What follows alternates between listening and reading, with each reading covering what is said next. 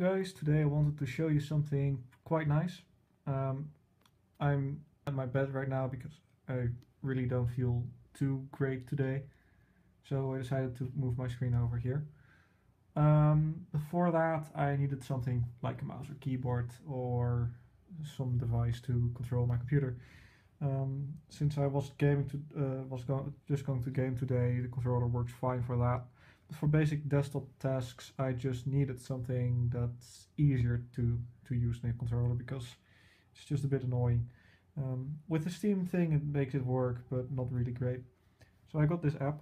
It's called Remote Mouse, and uh, well, it does what you expect it to do: um, be a mouse.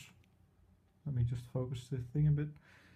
So if I just, uh, I can just use my phone like some kind of remote.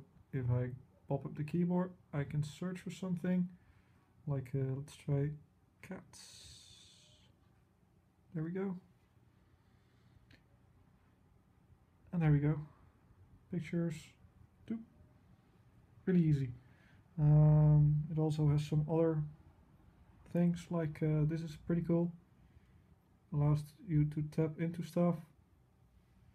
Um, and obviously this works as well with a controller, but uh, for some some basic desktop tasks I needed something and this is great. So that's something I can highly recommend. Uh, if you don't want to buy uh, buy some some remote um, remote keyboard and mouse